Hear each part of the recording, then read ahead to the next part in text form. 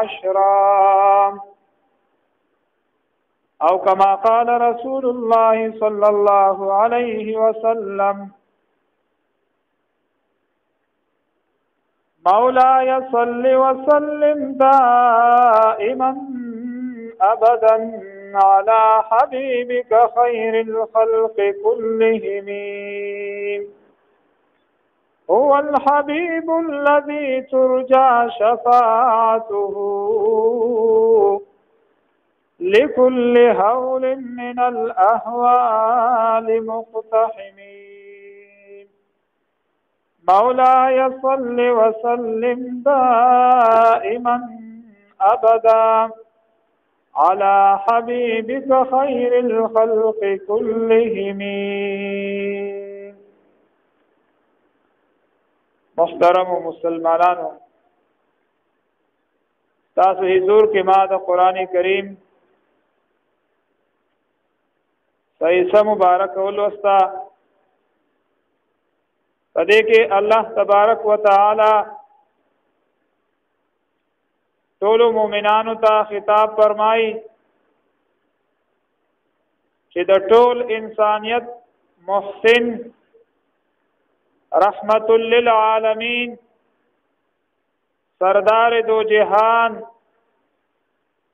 خاتم الانبیاء والنبیین زمن او تاسو محبوب پیغمبر محمد رسول الله صلی الله علیه وسلم صلوات الله وسلامه علیه الف الف مره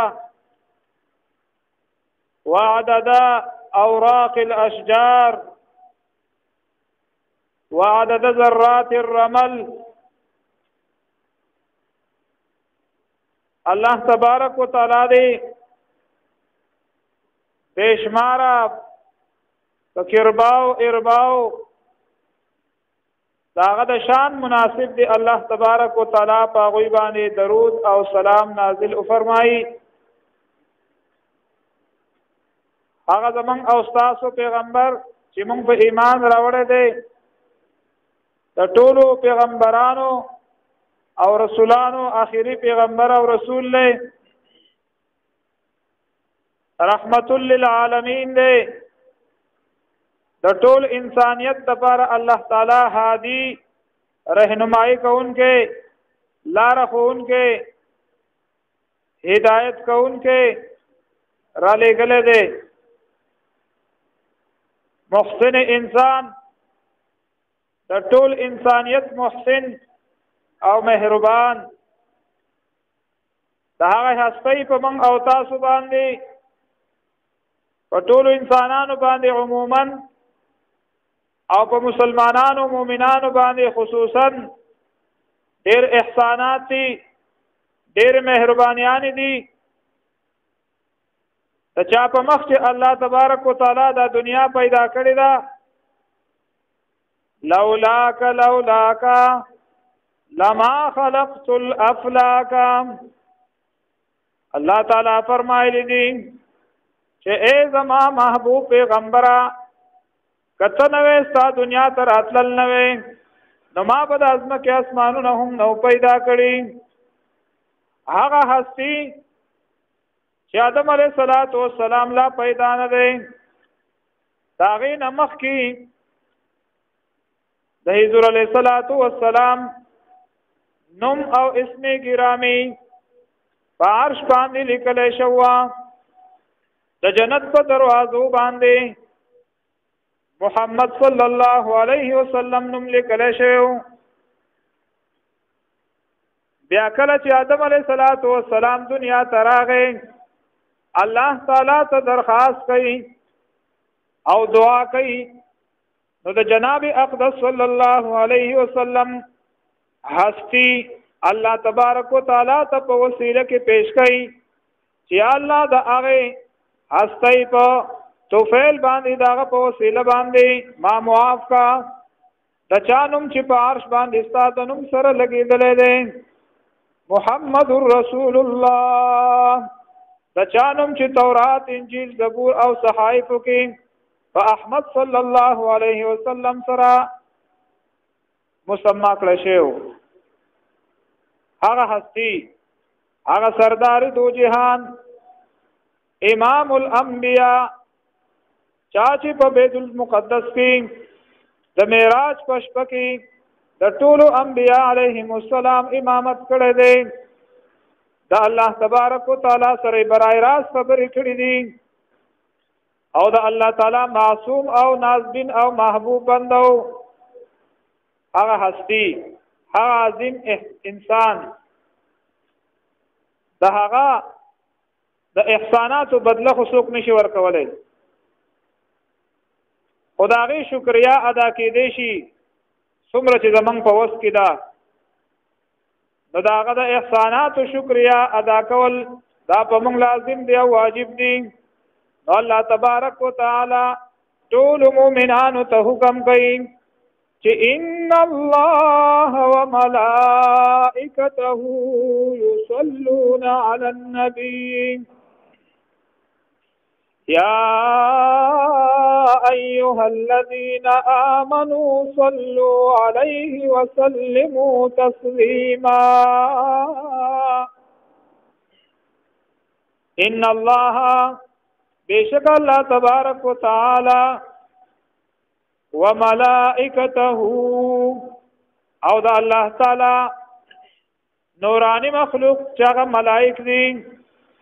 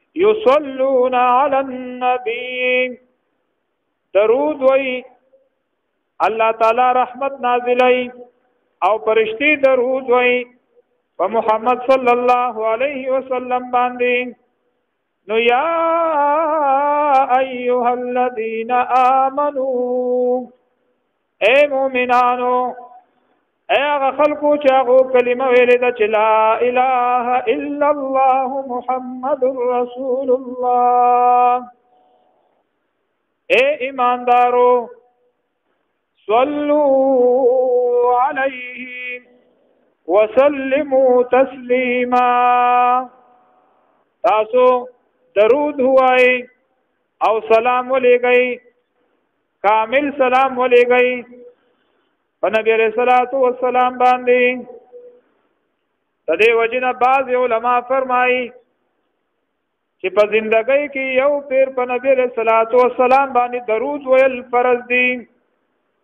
ځکه دا قران دی دا نسی قطعی دی او په دې سره فرایض ثابتېږي نو کم از کم په ژوند کې یو پیر درود شریف ویل دا فرض دي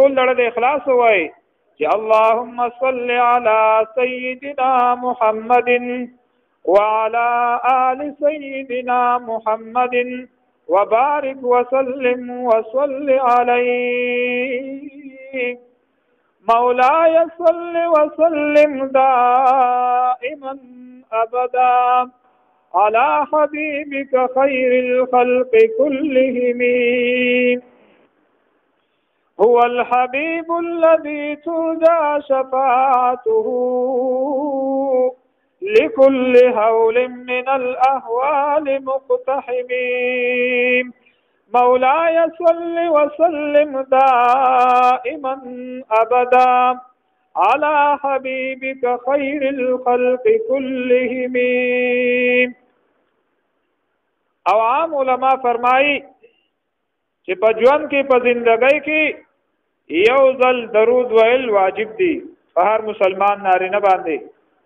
د دې قران کریم د دې آیت د وجنا د دې امر د وجنا او د امر د پار د وجوب دی کمنګ ټوله زندگی په درود کې تیر کو او په نبی له سلام باندې درودونه وایو وایو د حضور علیه الصلاۃ والسلام حق نشو ادا کولای او نه د هغه دغه احساناتو شکریا ادا کولای شو او حسب توفیق په خپل کوشش کو چې په نبی رسول الله درود وایو د دې وجه نه موږ او تاسو له پکار دي هر مسلمان نارینه او زنانه لرا لوی او وړو کې د پاره چې په خپل محبوب محسن پیغمبر باندې رحمت للعالمین باندې پشپا ورځ کې درود شریف وای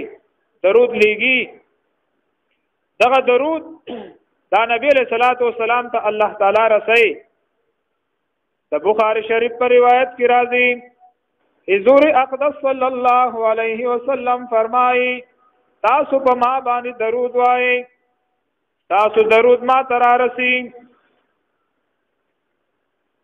صحابي او تفرما چې اې د الله رسولا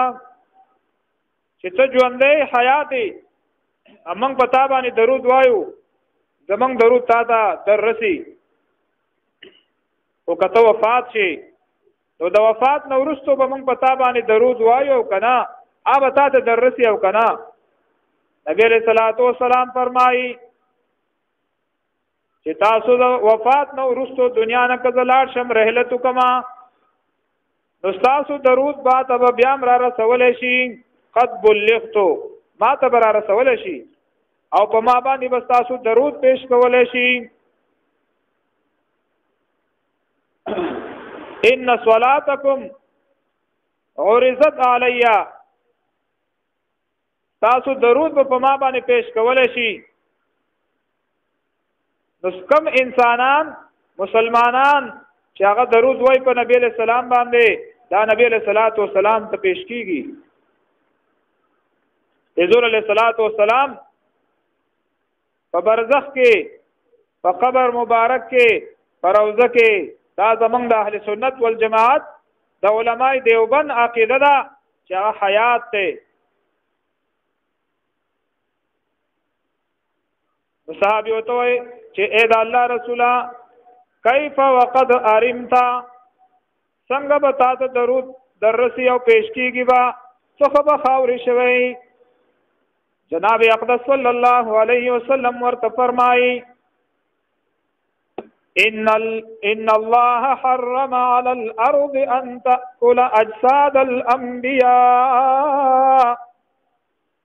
الله تبارک وتعالى په دې ځمکه باندې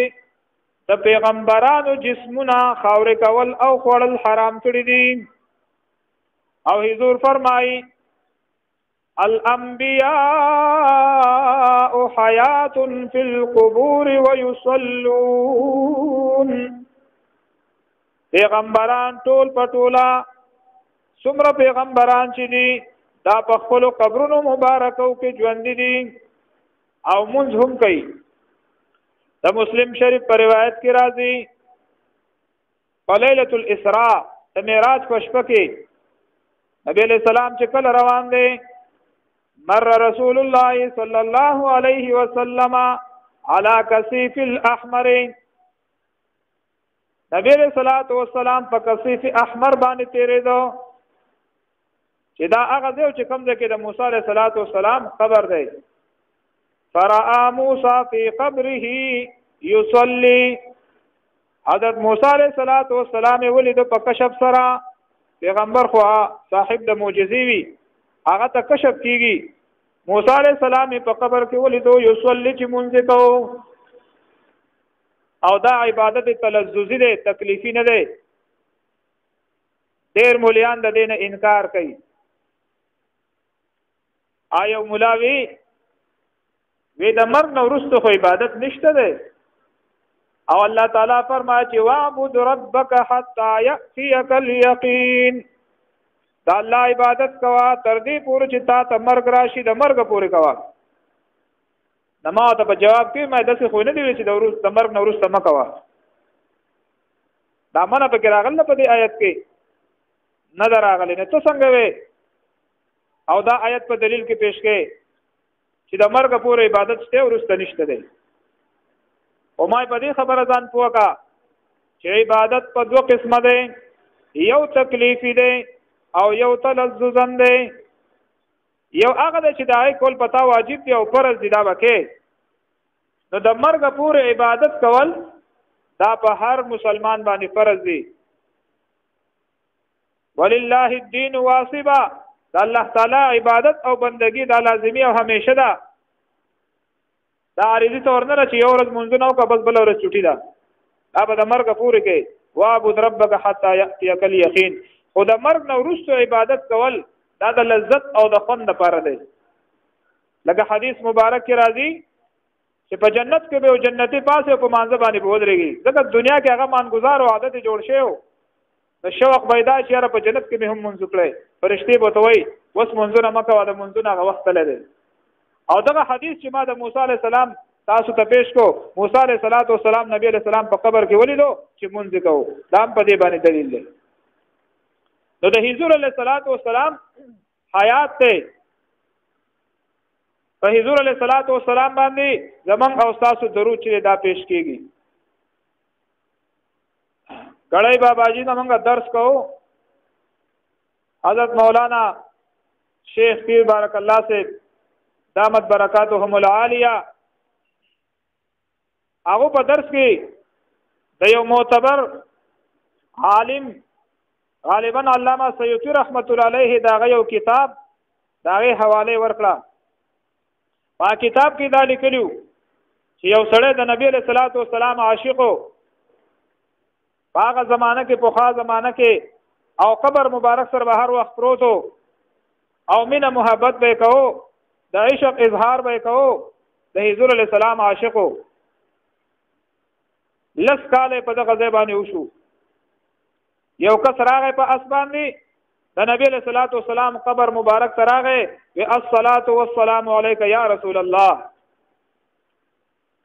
الصلاة والسلام عليك يا رسول الله درود او سلام دی پته باندې پتا باندې اې د الله رسوله د قبر نو ته وته आवाज شو چې عليكم السلام دغه سړی لاړ و دا کم چې د قبر سره د حیران شو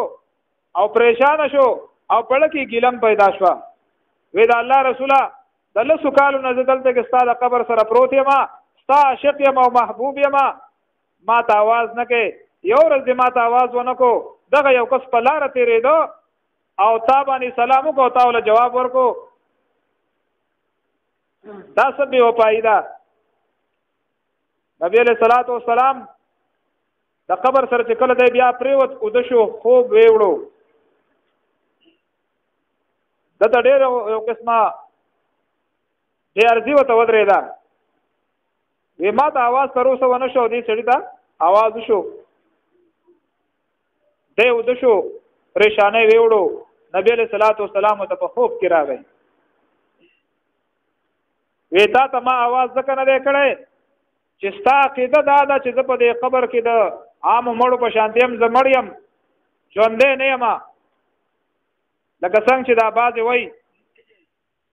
ته ما په دې قبر کې مړ غنې ستا عقیده دا ده زه ستا سره ستا د عقیده مطابق معاملې کوم تا سره خبره اترې نه کوم تعالی جواب نه درکوم او دغه کس چې دغه عقیده دا و چې په خپل قبر کې ژوندې یم هغه سره ما دغه د عقیده مطابق معاملې وکړه هغه ته جواب ورکوم چې دا ولې فورا دا سړی را پاسې دا او خپل عقیده او نظریه بدل کړه وز دا کم خلق دا کم مليان چې داغو نظر دغه نظریه دا هغه ته دا دلایل پیش کا هغه به تاسو دا داسې دی او دا منګړت دی او دا پلان کې دی صحیح حدیث هغه ته وای دا ضعیف دی لکه او کس چې ما ورته دغه د مسلم شریف حدیث پیش کو هغه سره نور څه جواب نه وې دا حدیث ضعیف دی نو ما تاسو سره څه ثبوت چې دا ضعیف حدیث دی ما ته ثبوت وخایا دا خو د مسلم شریف صحیح حدیث دی او ته چې ته ضعیف وې ستا عقل ضعیف دی ستا علم ضعیف دی ستا پوهه ضعیفه ده دا سره علم نشته ته د قران او د حدیثو په مطلب پوهیږي نه هڅه په بس مرور کې په قران او په حدیثو باندې اوړې راوړې او تاسو سره علم د دې نشته دی عبدالرحمن بابا وای کنه وای چې دستار تړي هزار دي چې دستار تړي هزار دي د دستار سړي د شمار دي د یوې مدرسې نه په سونو په زرګاو علما فارغ شي او د کار دانې پکې یو سوی ګره چاته چې الله تعالی د قران او د حدیثو صحیح په هور کړی وي پای پویږي اسی مرور نه کړي سرسری کار نه کړي جوور علم له خدای ور کړی دا چند کسانی ګره د ټول برابر نه هغه سره مې داغه معامله وکړه نو نبی علیہ السلام فرمایي تاسو درود ما تر رسی په ما درود وای حضور علیہ الصلات والسلام فرمایي چا چې په ما باندې درود وي دی به د قیامت پر زما سره نږدې وي چا چې په ما باندې درود شریف وي داغه سپارش په ما باندې واجب دی زه به سپارش کوم او تاسو چې نبی علیہ السلام دې سړي سپارش وکي هغه به منزوريږي او کنه او منظوريږي دا سړی به جنت ته ځي نبی عليه السلام فرمایي من صلى علي واحدا چا چې په ما باندې یو پیر درود شریف وي دا د درود فضیلت دی صلی الله علیه عشرا الله تعالی په دغه سړی باندې لس رحمتونه نازلای وکتب له عشر حسنات د دې سړي په عمل نامه کې با لس نه کوي ولیکل شي پسو پر درود شریف په یو ځل درود شریف ویل باندې ټول دړه د اخلاص وای صلی الله علیه وسلم اللهم صل علی سیدنا محمد وعلى آل سيدنا محمد وبارك وسلم وصلي عليه او د ټولو نه بیا افضل درود چې دی هغه درود ابراهیمی دی کوم چې په دې مانځ کې موږ او تاسو وایو اللهم صل الله مبارک په هر مانځ پسې یو پیر خویل شي لس پیر وای په هر مانځ پسې اسی وای نبی علیہ الصلوۃ والسلام فرمای د جمعې په ورځ باندې د درود ویلو بیا ډیر زیات فضایل راغلي دي سل پیر وای 1500 وای زر پیر وای الحمدلله دا ناچیز روزانه ما په ځان باندې زر پیرې وظیفه کړ دا الحمدلله دا غ مولیانو کې نه مچې تاسو ته مو په خپل نه کوم غره زه په دې باندې الحمدلله ول په خپل عمل کوم دا الحمدلله د شلو کالو نه دا زما زر پیرې روزانه وظیفه ده او الحمدلله دلال الخيرات دا تحديث بن نعمت پته وریم دا د الله احسان دی په ما چې مال توفیق را کړی تاسو لم الله تعالی توفیق در کړ دی خو شروع کوي او درود وای استغفار وای ذکر اسکار کوي هر وخت په ذکر کې اوسېږي هیڅ قسم ټینشن به تاسو ته نه دا څه قسمه حاجت یې وی سل پیر درود شریف وایا او د الله تعالی نه په سوال وکا بیا ګوره ستاسو دغه جایز حاجت او دغه سوال الله تعالی په کومه طریقه پوره کوي دغه شان دی حدیثو کې راځي نبی علیہ السلام فرمایي درود شریف دا د دعا د پاره داسې دی لکه د مرغۍ د پاره څنګهونه د مرغۍ چې څنګه نه هغه نشي الوته او چې څنګهونه یې هغه الوزي نو کمی دعا په اول کې او په آخر کې چې درود شریف ویل شي هغه دعا الله تعالی قبلای نو د دې سړي چا چې یو پیر درود وی کتب له عشر حسنات د د په عمل نامه کې لس نیکي ولیکل شي ومحیا عنه عشر سیئات او د د عمل نامې نه لس ګناهونه وران کړل شي او په قیامت کې لس درجه هم چت شي چې ډیر وای دا په یو ځل ویلو باندې دلال الخيرات کې چې دا د علماي دیوبند وظیفه ده حسین احمد مدنی رحمه الله او نور مشرانو به دا وظیفه کوله دلایل الخیرات دا درود شریف کتاب دی الحمدلله زما هم د شلو کارونو وظیفه ده آی کې یو حدیث ذکر کړی دی چې کله یو انسان په نبی له سلام باندې یو پیر درود شریف وای دا درود شریف د دې انسان د خلې نه اوزي او په دې ټول کائنات کې وګرځي په دې ټول دنیا کې او دا आवाज لګي چې زه درود یم د پلانکی د پلانکی د زوی د خلې نه راوتلی یم نو دا ټول سيزونه به د قیامت پر ورځ دغه انسان د پاره گواهی کوي او بیا د دغه درود شریف نه یو مرغۍ جوړ شي دا هغه مرغۍ او یا زره څنګهونه وي په هر سان کې او یا زر وزر وي په هر یو وزر کې او یا زر سرونه او په هر یو سر کې او یا زر جبي او هر یو جبا په او یا زر جبو باندې درود شریف وای او د دې انسان په عمل نامه کې لیکل کیږي دا یو ناشنا روایت دی چې ما په کتاب کې لیدل دی نو درود شریف دومره فضایل دي بل نبی علیہ الصلوۃ والسلام هم په موږ او تاسو باندې ډېر حق ته محسن دی نو کم از کم داغه شکریا به ادا کیږي نو ان شاء الله کو به داسې کنه درود شریف خپل وظیفه جوړ کو بل محترم دا د محرم میاشت لسم محرم او په نهمه د میلې په ورځ د بوت په ورځ باندې نهم تاریخ ته او د لسمه چې دا هغه بیا د جمعرات په ورځ باندې راځي او د جمعې ورځ بیا یو لسمه راځي په دغه ورځو باندې دغه دوه ورځې نیول یا نه هم لسمه او یا لسمه یو لسمه دا مستحب دي دا ډېر غټ فضیلت لري راغلی دی نبی له صلوات و سلام چې کله مدینه ته راغی بخاری شریف کې روایت ده نه يهودو به د لسم محرم روزه نیولا نبی له سلام د تاسو کو چې تاسو دا روزه ولې نیسئ هغه وی په دې ورځ باندې موسی له سلام د الله تعالی د شکریا ادا کول په تور دا روزه نیوا چې الله تعالی موسی علی السلام او بنی اسرائیل د فرعون نه خلاص کړ په دریا پورې وته د شکریا په تور باندې بيدار او جنې و موسی علی السلام نو نبی علی السلام فرمایل نحن احق بموسی منکم منګه د دې خبره زیات حقدار یو چې د موسی علی السلام اقتدا کو او دغه اتباع کو تاسو نه دغه موږ زیات حقدار یو نو نبی علی السلام په خپل باندې دا روزه نیوه او بیا نبی علیہ السلام فرمایل کا لئن بقیتو لئن بقیتو القابله کله روان کال زه ژوند دیوم لا اصومن التاسعه زه به سر د نهم روزه هم نسما ولی دا لسمه یوازې صرف يهود نیوا او نبی رسول الله فرمایي خالف اليهود والنصارى د يهود نصارو خلاف کوي د دین په کار کې به هم دا غونه خلاف کوي دا غو سره مشابهت نه کوي هغه یوازې لسمه نیوا نو موږ سره نه هم نسو او کچا نه هم نه نیوا نو یو لسمه دی سره ونی چې دوشي چې دا غو سره مشابهت را نشي الله تعالی د عمل کولو توفیق راکړي واخر دعوانا الحمدلله رب العالمین